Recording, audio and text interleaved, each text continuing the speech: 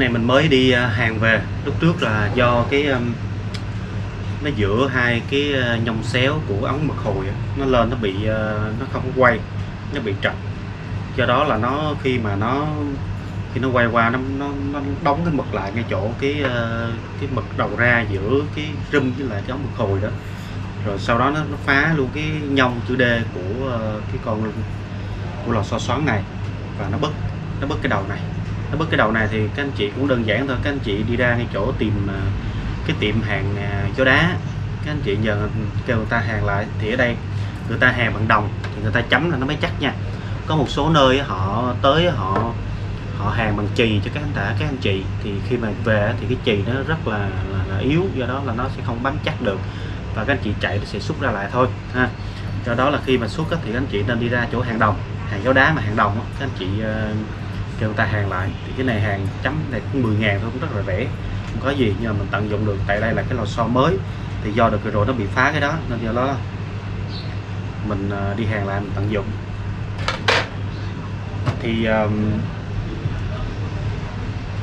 cái ờ, cái mực bây giờ mình sẽ nói về cái mực nó là một cái quan trọng để nó hạn chế hư hao cái máy móc của mình. Tại vì đối với ờ, mực á, thì nó có nhiều loại và trên thị trường hiện tại cũng có rất là nhiều công ty họ bán mực. Họ về họ nhập à, thùng về xong họ đầu họ tự pha rồi họ đóng gói tại Việt Nam tại công ty. Thì đa số thì đối với một số loại mực mà mực nhập quy gói thì nó cái chất lượng nó tốt. Tại vì à, những cái đơn vị công ty đó là những cái công ty người ta chuyên sản xuất về cái máy in và mực cho máy in. À, còn đối với một số công ty mà tự mua tự mua thùng mật thùng về xong họ tự ờ, tự pha. Rồi tự đóng gói thì nó đôi khi có một số lúc mực nó bị lỗi. Khi các anh chị để ý khi mà chúng ta chạy mà trong quá trình chạy thì thứ nhất là cái mùi mực nó có những cái vấn đề nó nặng mùi. Ví dụ như khi mình chạy bình thường thì cũng có cái dòng mực đó nhưng mà có một cái đợt hàng cái mực nó bị nặng mùi. Các anh chị ờ, ngửi em thấy cái mùi nó nặng ha mùi mực ngửi luôn cái mùi mực.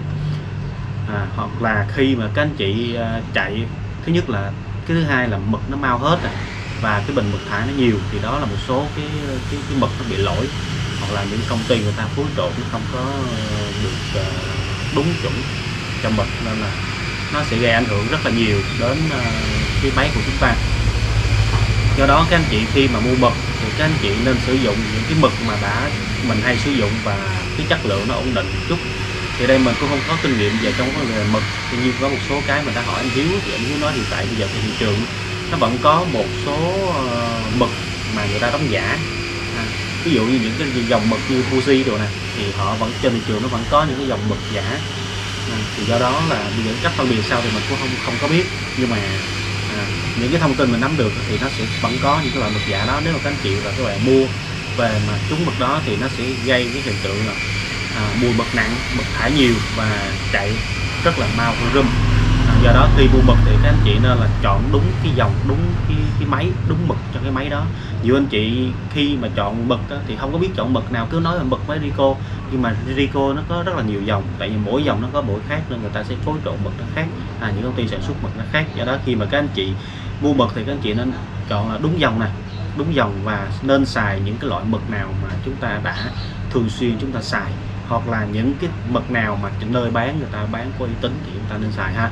Thì do đó là về mực thì à, mình cũng muốn chia sẻ một chút cái kinh nghiệm cho tất cả các bạn và các anh chị thôi.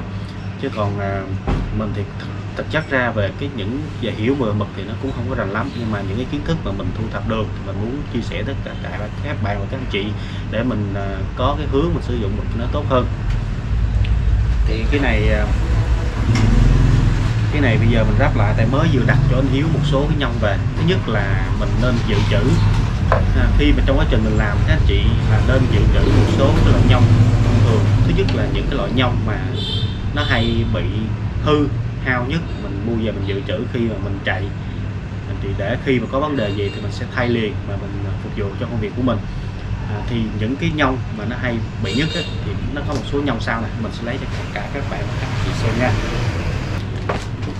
đây, mới à, đặt hàng của anh Hiếu về. Một số loại nhông mà mình cảm thấy nó hay bị à, trục chặt nhất.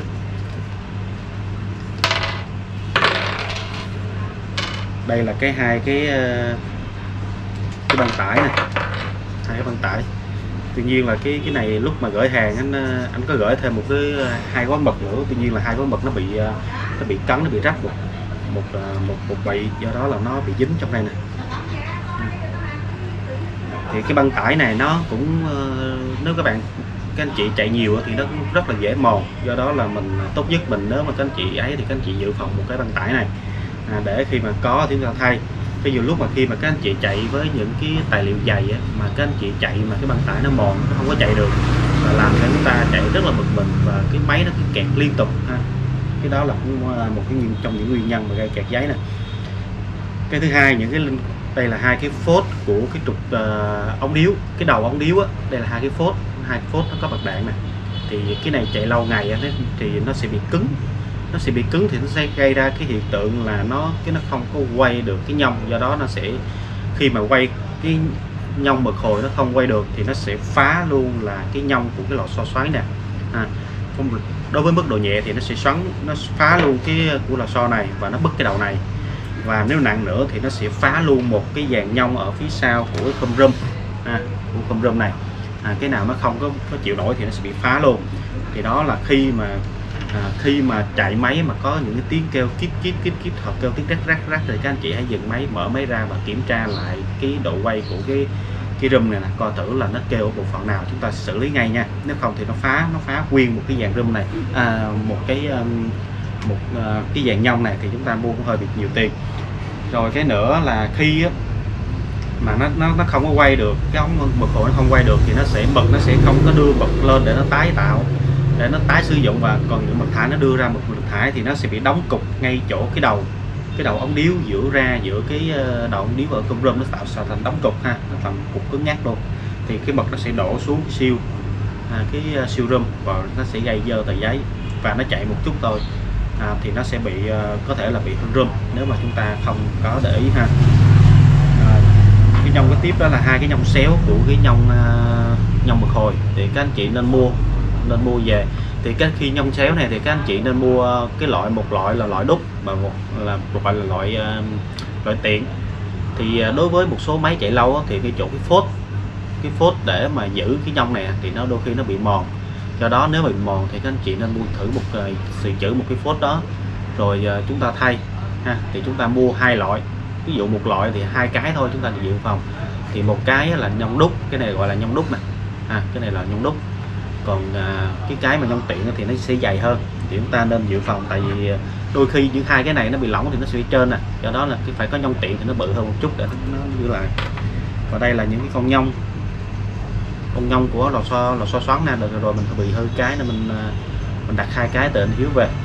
Do đó là rồi cái tiếp theo đó là cái nhông à, motor chính. Cái nhông này là cái nhông để nó xoay cái rum thì đôi khi nó vẫn bị cái nhông này. Do đó tốt nhất các bạn vẫn có một cái nhông này để chúng ta dự phòng ha. Đây là nhông motor chính này thì nó đây nó cũng còn có một số cái à, nhông. Nếu mà các anh chị mà không có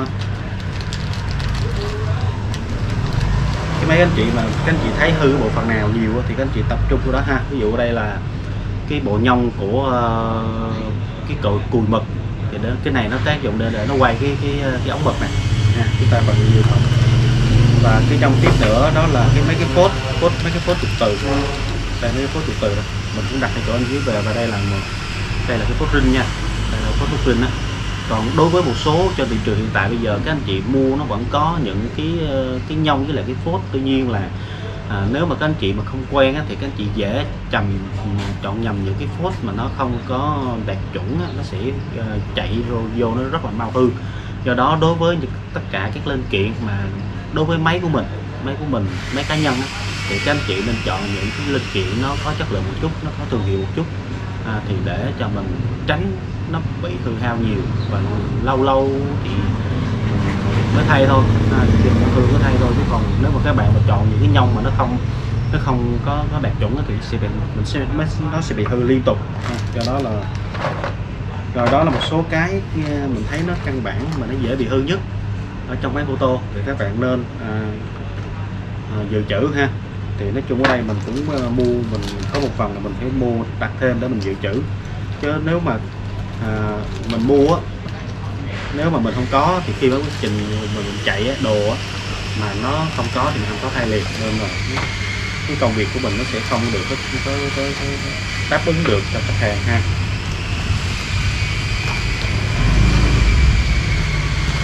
Rồi đó là một số cái uh, muốn chia sẻ cho tất cả các bạn. Thứ nhất là về mực. À, về mực thứ hai là về một số cái linh kiện mà cần dự phòng để uh, chúng ta À, à, chuẩn bị. Chúng ta dự trữ để cho nó đáp ứng được công việc chúng ta tốt hơn.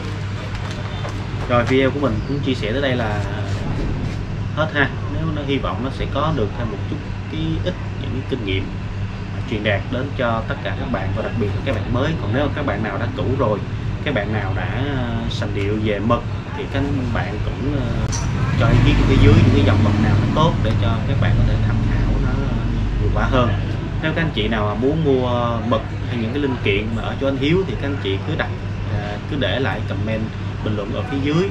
Thì mình sẽ cho số điện thoại hoặc nào đấy nếu các anh chị nào đã biết số điện thoại của anh Hiếu rồi thì các anh chị à, cứ liên lạc cho anh Hiếu. Thì à, anh sẽ tư vấn dòng nào tốt rồi các anh chị lựa chọn rồi sau đó các anh chị đặt hàng thì anh gửi hàng về thôi. À, nói chung anh Hiếu thì anh đã làm kinh nghiệm anh làm lâu rồi với lại là anh là một cái người thợ mà nó chưa là thợ rất là giỏi và tiếp xúc máy thường xuyên nên là anh sẽ có kinh nghiệm hơn trong vấn đề là chọn mực chọn mực với lại chọn nhông tại vì lúc trước cái mực của mình á mình cũng đang xài mực ngoài chứ mình không có xài bên mực của anh Hiếu. À, do đó là đợt vừa rồi thì cái máy móc nó hơi nó thứ nhất là chạy mình thấy nó có những cái ờ, biểu hiện lạ từ mực ví dụ như mùi nặng này với lại cái mực thải nhiều. Thì do đó là đợt này đợt vừa rồi mình mới đặt một số nhông là mình đặt luôn một cái ờ, cái cái, cái hai bịch mực nữa. Tuy nhiên là Ờ, cái bình mật ờ, khi gửi về nó nó nó bị lủng nên là nó rất là dơ nên mình không thể nào mình chia sẻ với tất cả các bạn và các anh chị ở video này được. À, còn nếu mà có dịp thì mình sẽ chia sẻ ở video sau nha. Rồi nếu mà các anh chị cảm thấy video có hữu ích thì đừng quên bấm like và share để cho người theo dõi ha. Nếu các anh chị nào mới vừa ghé qua kênh Bado Official thì hãy giúp mình đăng ký kênh để cho kênh này càng phát triển. Và bây giờ xin chào và hẹn gặp lại tất cả các bạn và các anh chị ở video sau. Chúc các bạn và các anh chị thật là nhiều sức khỏe làm ăn ngày càng đắt khách và thành công trong công việc của mình. Bye bye.